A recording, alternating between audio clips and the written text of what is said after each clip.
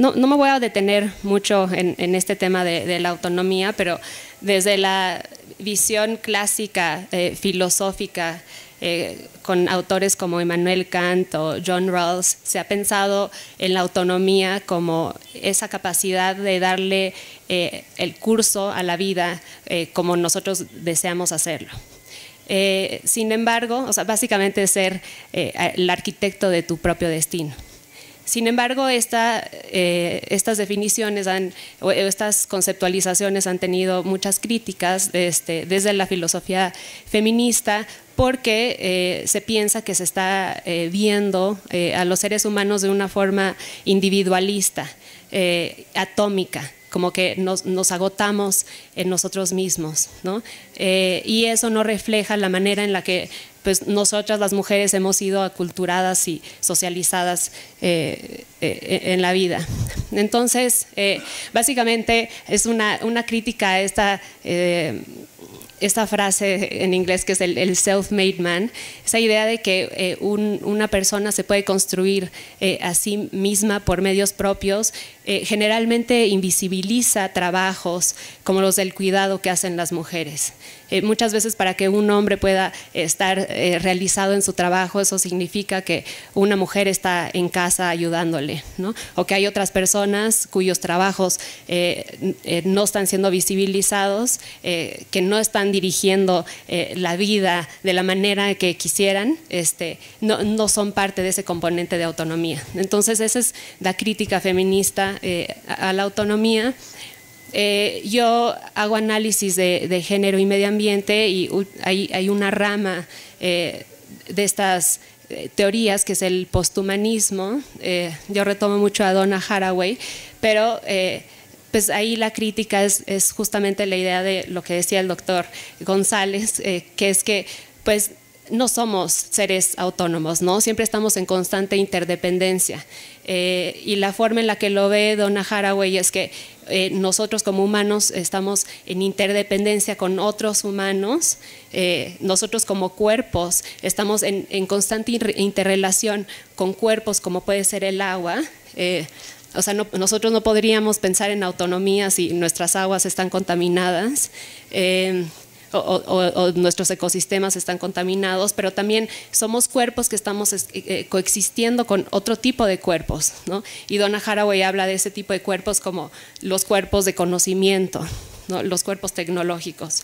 Y ahí este, quisiera hablar sobre una crítica Foucauldiana este, a la autonomía. Eh, según eh, cómo teorizó Foucault el poder, eh, nosotros siempre estamos sujetos, o sea, somos sujetos, sujetados a ciertos discursos de poder. ¿no? En realidad eh, nosotros hemos introyectado estos discursos de poder, los hemos hecho eh, propios y los hemos normalizado. ¿no? no hay necesidad de que nos digan, no tienes que hacer esto, porque este, nosotros eh, ya nos, nuestras conductas van dirigidas este, hacia ese lugar. Em, entonces, bueno, desde ahí voy a partir y voy a, este, podemos discutirlo más adelante con respecto a una investigación que, eh, en la que participé hace dos años, eh, nos, interesaba saber cuál era el, impacto en términos de percepciones del cambio climático aquí en la Ciudad de México en, hombres y, mujeres. Entonces, aquí quiero reflexionar sobre la autonomía frente al cambio climático en la Ciudad de México eh, como fenómeno externo, aunque ahí no me voy a detener mucho, eh, cómo afecta el cambio climático nuestra autonomía, este, y el otro es cómo afecta el cambio climático nuestra autonomía, autonomía como discurso de poder. Eh, lo que nos hemos dado cuenta es que estas, las políticas y los discursos ambientales eh, están altamente cargados de poder. y bueno, esta es la, investigación en la que participé. Por supuesto que era un proyecto que eh, nos superaba este, poder conocer el impacto eh, en términos de la percepción en, la Ciudad de México, por este, la magnitud y la heterogeneidad eh, de, la ciudad. así que escogimos, básicamente nos enfocamos en, dos alcaldías, que fue la Miguel Hidalgo e Iztapalapa.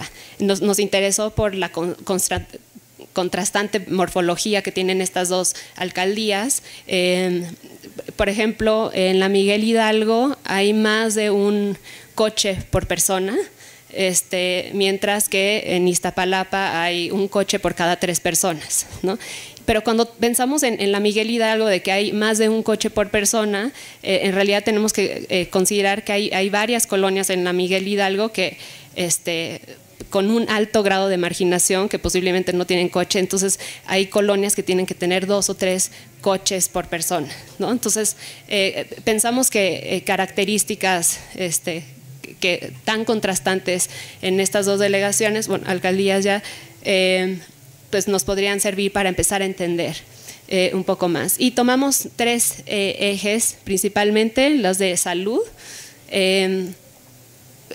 Estos son, eh, perdón, percepciones, ¿no? O sea, nosotros no, nos metimos a averiguar cómo está impactando en la salud, sino cómo la gente piensa que está impactando en su salud, cómo piensa que está impactando en la movilidad y, y en términos generales, qué piensa del cambio climático, qué tan grave es, etcétera. Ahora, como les platiqué, yo parto de esta literatura de género y medio ambiente, en donde eh, nuestra tesis eh, principal este, que hemos estado comprobando es que el cambio climático no solamente impacta de manera diferenciada, sino desigual. Es decir, eh, entre más se está deteriorando el medio ambiente, más se están encrudeciendo las desigualdades sociales. Ahora, em, ¿Cómo podemos estudiar ese, impacto, ¿no? sobre todo en una ciudad como México tan heterogénea? Eh, la experiencia de mujeres este, no podríamos hablarla de una manera universal. ¿no? O sea, no es lo mismo ser eh, una mujer eh, indígena aquí en la Ciudad de México a ser una mujer joven con estudios de posgrado, por ejemplo. ¿no? Entonces no podemos homogeneizar las experiencias de vida eh, así que para ello usamos una perspectiva de género interseccional. Eh, como lo entendemos es que el, género como una dimensión de desigualdad la, empezamos a articular con otras formas de desigualdad y jerarquías sociales. Más o menos se va, viendo así. ¿no? Por ejemplo, el género lo empezamos a articular con la discapacidad, la edad o en la generación, eh, la orientación identidad sexual, la nacionalidad. Ahora, eh, esto es así como la, utopía, ¿no? O sea, como tratar de articular tantas cosas, pero en la práctica es, muy difícil en términos metodológicos, así que eh, nosotros nos quedamos este, con este, la experiencia diferenciada entre hombres y mujeres y por clases sociales. Eh, tomamos los índices de marginación de la CONAPO, este, que dividen entre muy bajo, bajo, medio y alto. Básicamente estamos hablando de eh, clases sociales altas, medias y bajas, que así me voy a referir a ellas por, términos prácticos. Yo estuve en, los grupos focales de la Miguel Hidalgo y entonces voy a hablar de la, experiencia que tuve en estos grupos focales. Ahora, como les dije, está el impacto eh, externo eh, del cambio climático como fenómeno que en la Ciudad de México este, eh, se va a traducir en cambios en los patrones de lluvias, inundaciones este, en, algunas partes, pero sequías este, que generen falta de agua en otras, ondas de calor, expansión de enfermedades infecciosas, deshidrataciones más frecuentes. Ahora, no sé si han ustedes escuchado siempre que el cambio climático nos va a impactar a todos de la misma manera, ¿no? Eso es una, es, eh, pues digamos, una campaña del, gobierno, este, pero ahorita como veremos, pues no, este tipo de fenómenos no nos va a impactar a todos de la misma forma. Lo que eh, vimos eh, en términos de salud es que de haber mayores enfermedades, son las mujeres las que se van a quedar a cuidar en casa. Las mujeres son quienes llevan a cabo la mayor parte de los cuidados, eh, pero eh, se espera que derivado del cambio climático eh, van a haber más enfermedades, entonces eso va a intensificar la carga de las mujeres en términos de cuidado. Eh, nos relataron que, faltan más eh, a sus trabajos que los hombres. O sea, si, si los dos, este, una, una, mamá y un papá en casa trabajan y uno de los hijos enferma, generalmente la que deja de ir al trabajo son las mujeres. Y generalmente, este, bueno, nos, nos estaban platicando que a veces les descuentan el día, ¿no? Esto tiene algún tipo de repercusión eh, laboral. Em, ellas están dispuestas a destinar más de, su dinero a medicinas y a médicos que, los hombres. Eh, y como les digo, esto hace que incrementen sus ya de por sí intensas jornadas eh, de trabajo dentro y fuera de casa. Em, ahora, esto hace que también se encrudezca la desigualdad por, clase, porque las mujeres de clase alta tienen las posibilidades y las condiciones para este, dejar a, sus hijos encargados con alguien más en guarderías, que los cuide una nana, este, o, una enfermera, etcétera, eh, son condiciones que no tienen este, las mujeres de clases medias o especialmente bajas.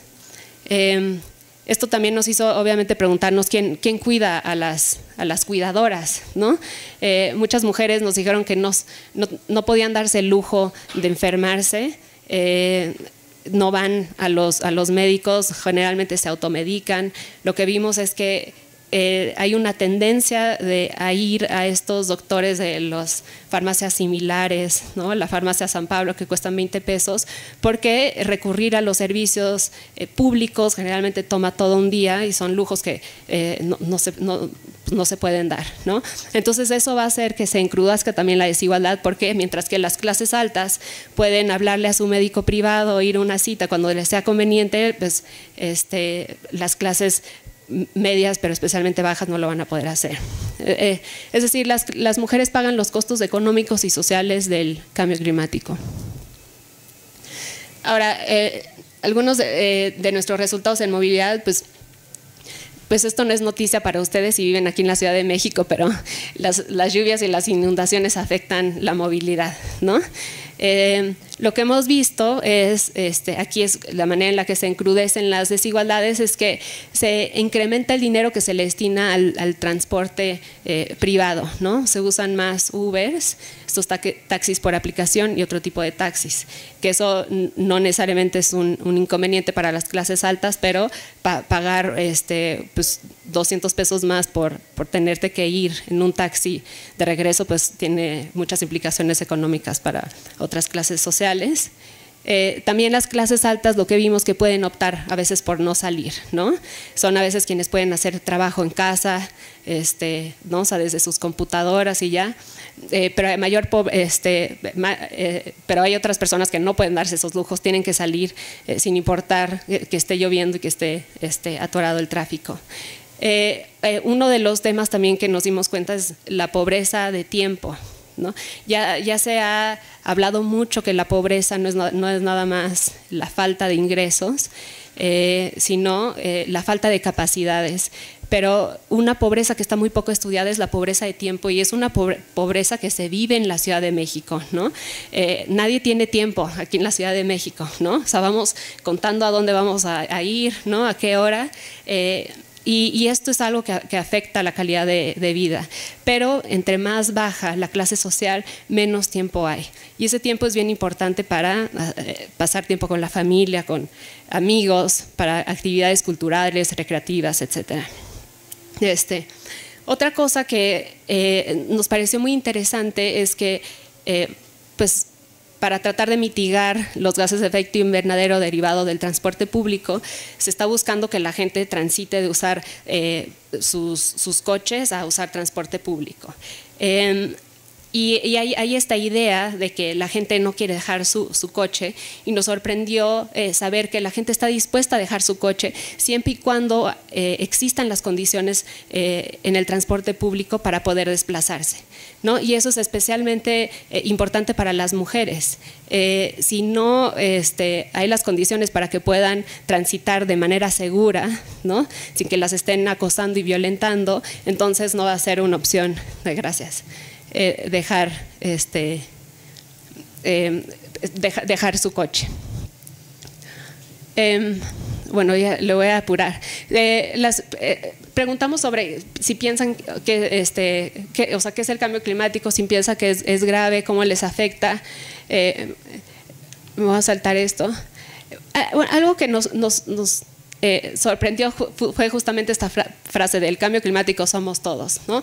Porque eso es digamos, una, una, percepción como neoliberal del, problema ambiental, en donde nuestro deber es cambiar nuestros hábitos y ser buenos con el medio ambiente. Eh, y ahora el ser consciente ecológicamente se convirtió en, un lifestyle, ¿no? En un estilo de vida, lo hemos glamorizado, pero hemos glamorizado lo que es en realidad un abandono del Estado, Y a mí me parece que estamos ante la antesala de, eh, un ecocapitalismo. De una nueva forma de capitalismo que va a cambiar todo para no cambiar nada. Em, Ahora, también creo que en, esta idea de que el cambio climático somos todos, eh, siempre el, yo es un poquito más consciente que el otro, ¿no? Y eso siempre tiene consideraciones eh, muy clasistas. Les voy a leer un último testimonio aquí eh, que dice, mucha gente viene de provincia y la sobrepoblación es una contaminación que genera basura. Es decir, estas formas en las que estamos pensando en el cambio climático están legitimando que podamos hablar así de la gente. Y también hay eh, percepciones eh, sexistas, ¿no? El sexismo es una actitud que discrimina eh, con, base en la diferencia biológica de los sexos. Cuando les preguntábamos a las mujeres qué hacían este, por el cambio climático, ellas se referían no solamente a lo que hacen en casa, sino a lo que hacen en sus trabajos y en el ámbito público. Y una enorme lista de cosas que quieren, que quieren hacer. Los hombres se refirieron un poco más a lo que hacen en el ámbito eh, público, en sus trabajos, por ejemplo, nada más. Eh, lo que estamos viendo, por ejemplo, con imágenes como la que están aquí, es que estamos reproduciendo la idea de que son las mujeres quienes cuidan, porque si ya de por sí hacemos los cuidados de, casa y de cuidar este, a, nuestros familiares, también ahora vamos a cuidar el medio ambiente, ¿no? Y eso va a tener implicaciones en el tiempo y la vida de las mujeres. Entonces, eh, en modo de conclusión, el cambio climático no es neutro en cuestiones de género ni clase, ni cómo se perciben los impactos, ni, ni, lo que pueden causar estos. Los más desprotegidos, los más marginados, este, el cambio climático va a ser muy disruptivo e incluso letal. Sin embargo, para las clases altas va a significar quizá modificaciones en su estilo de vida, tener aire acondicionados, mudarse el lugar, utilizar tecnologías y para las clases altas es también quizá una oportunidad de negocio el cambio climático. ¿no? Ahorita se están vendiendo los paneles solares este, en todas las lomas de Chapultepec. Este, em, entonces, bueno, el, discurso de cambio climático legitima la discriminación por clase, está normalizando la división sexual de trabajo, se está asociando y reafirmando esa idea de que la mujer es quien lleva a cabo los cuidados, se está aumentando la carga de trabajo para las mujeres y sobre todo de las mujeres de clases bajas. Eh, estamos depositando en los individuos la carga del cambio climático eh, y dejando a, otros actores muy importantes eh, y estamos desplazando la responsabilidad del Estado a los sujetos. Y bueno, ahí ya este, paro. Aquí está mi correo y a ver si ahorita seguimos platicando. Gracias.